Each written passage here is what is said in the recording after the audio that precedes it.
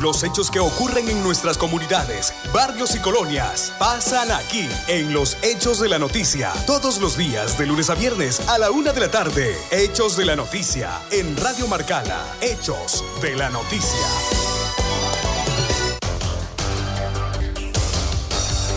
En el tema de aguas de Marcala ya se anunciaba, bueno, que se estaban pidiendo currículum para, entiendo que para dos puestos, o cuántos puestos se van a nombrar en aguas de Marcala. En la línea está Cristóbal Pacheco, quien eh, ya se recibieron propuestas, currículum para puestos como el gerente, el administrador, ¿y qué otro puesto ya recibieron?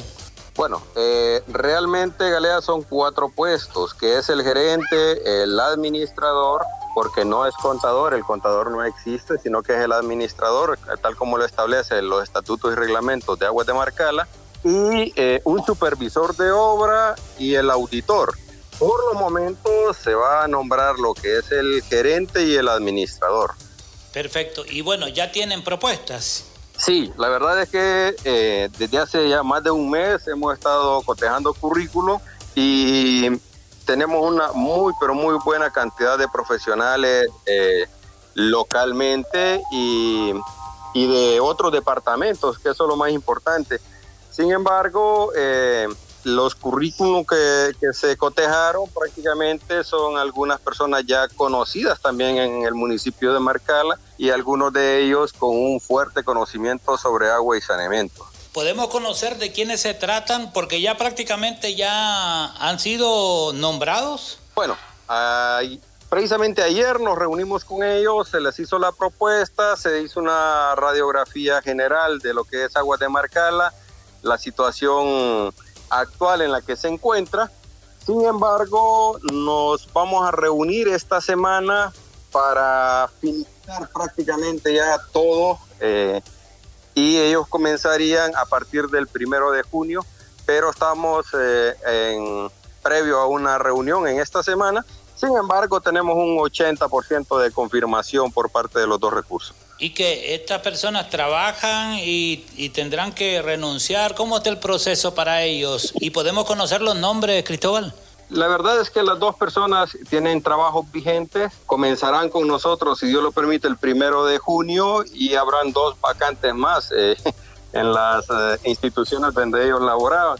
Entonces, eh, sí, ya tenemos los dos recursos y estamos prácticamente a la espera de una última reunión para comenzar, eh, Galeas, eh, los dos recursos. Uno trabaja en una de las mancomunidades, lo que es la gerencia, eh, su fuerte es agua y saneamiento, y el otro compañero que llevará la administración hasta este momento, pues eh, trabaja en... Y bien, eh, te preguntaba, ¿quiénes son estas personas?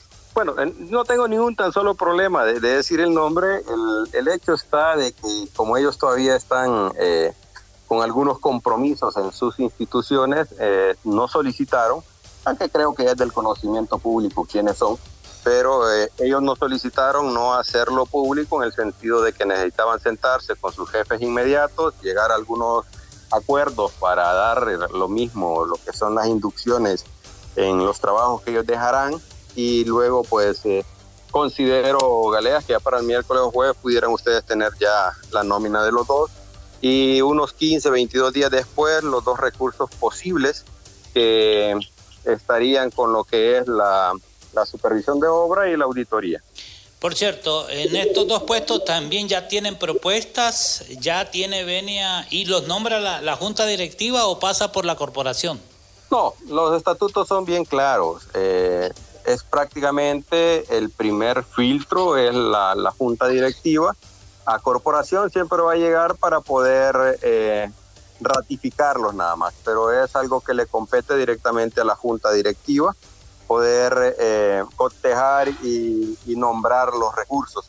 Es más, la gerencia, según estatutos, en el artículo 7, eh, ya establece que también el gerente puede contratar algún recurso y solamente hacerlo, eh, notificarlo a la junta directiva. Hay muchísimos currículums también se va a evaluar el personal de campo que está actualmente. Eh, estos, estos puestos, me decía, eh, son nombrados por la Junta Directiva. Hay un puesto que ha nombrado el alcalde. ¿Es cierto que el alcalde puso un empleado en Aguas de Marcala?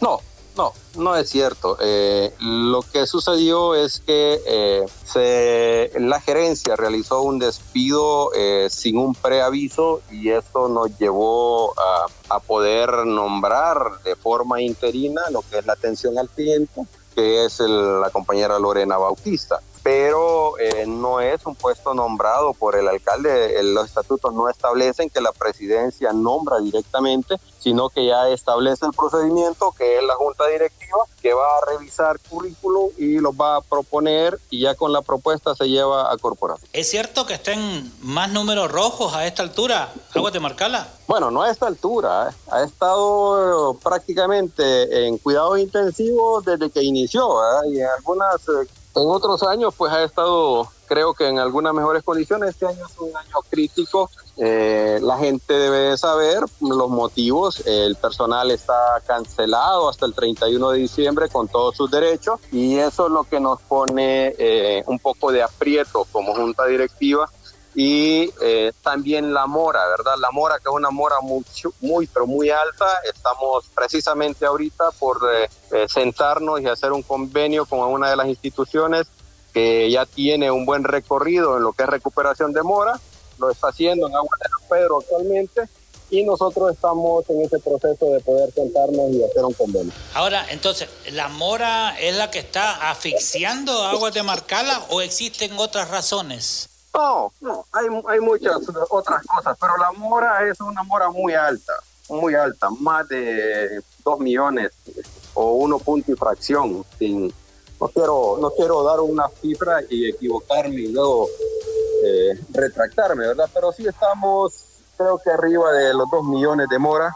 Algunas instituciones ya se acercaron, ya comenzaron sus procesos legales para poder eh, pagar agua de Marcala. Eh, también, eh, Galeas, hay otro, otro punto, eh, que es el catastro de usuarios, que no existe en Marcala. Estamos con una cantidad muy raquítica de usuarios que en la realidad eh, no existe, ¿verdad? O sea, son más usuarios de lo que se tiene en, en, la, en la base de datos de aguas de Marcala. Aparte de eso, pez clandestinos pegue directo de, de, la tubería madre de 8, de 8 pulgadas y todo esto ya hay algunos acuerdos para a priori poder tomar la decisión y hacer algunos cambios que son importantes. Y actualmente los compromisos que tenemos eh, pendientes es el de la gerencia, el administrador y la atención al cliente, que son los tres cargos que prácticamente eh, están fuera ya eh, con un preaviso. Con estos nombramientos, tanto del gerente como el administrador, digamos, eh, ¿qué se espera como junta directiva, Pacheco? Bueno, como junta directiva, eh, a corto plazo, estamos hablando de unos tres, cuatro meses, ver resultados positivos y previo a eso, eh, también estamos por hacer un cabildo abierto exclusivamente en el sector agua para dar a conocer lo que es la problemática de agua, del sistema de agua, puede, de agua de Marcala, prácticamente hace falta. Te agradezco, Cristóbal, por contarnos esto sobre aguas de Marcala. Perfecto, vale, estamos a la orden. Cristóbal Pacheco, miembro de la Junta Directiva de Aguas de Marcala. Los hechos que ocurren en nuestras comunidades, barrios y colonias pasan aquí en los Hechos de la Noticia. Todos los días, de lunes a viernes a la una de la tarde. Hechos de la Noticia en Radio Marcala. Hechos de la Noticia.